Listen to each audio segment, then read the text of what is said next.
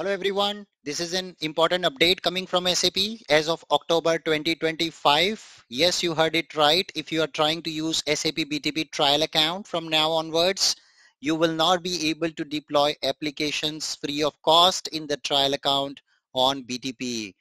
SAP have publicly announced that and I feel this is a very, very um, anti-learning because on one side they put a lot of learning posts, uh, conduct a lot of uh, trainings on uh, on Open SAP and things like that. But on the other side, they are now restricting community to create trial accounts to uh, to deploy applications on the BTP trial account. So there is a recent post on the community which I would like to demonstrate to all of you, which clarifies this point of no more free lunch for the learners and community uh, users who are willing to learn SAP BTP uh, related uh, activities. So we always aim to give uh, users most of the freedom and flexibility.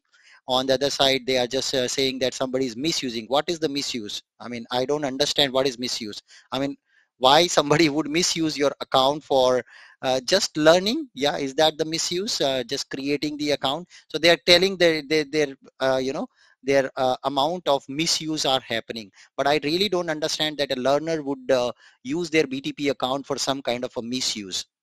However i believe this is due to a certain economic downturn in europe. This is uh, purely purely the reason but it's written in a in a different manner. It's not uh, to be very upfront but to be very honest uh, this is certainly due to a downturn in the european economy. Yes uh, perhaps maybe internally within sap they are running out of budget.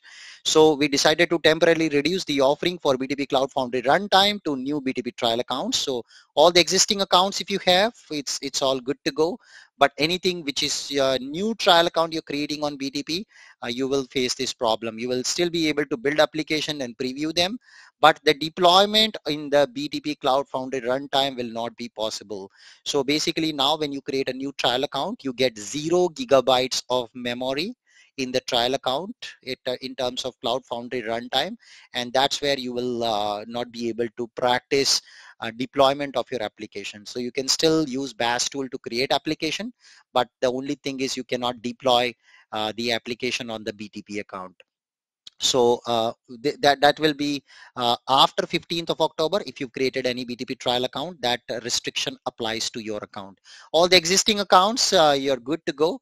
Uh, on the other side we also found out a community post uh, from one of my student where they clearly mentioned that uh, no you currently cannot add extra memory to cloud foundry runtime in the trial account due to temporary restrictions from mid of October the new trial accounts are provisioned with zero megabyte of uh, memory quota for Cloud Foundry runtime, making it impossible to deploy application. This is directly from SAP source. And the option is to allocate increased memory through entitlement is also disabled. Normally, the BTP trial account have 4 GB uh, of memory. So those who have taken our CAPM training and uh, trying to uh, use uh, uh, the BTP trial account to practice and learn things, SAP is now taking steps for anti-learning so they will not allow uh, anymore to for you to practice those topics of deploying and running application on trial account. So that's the situation.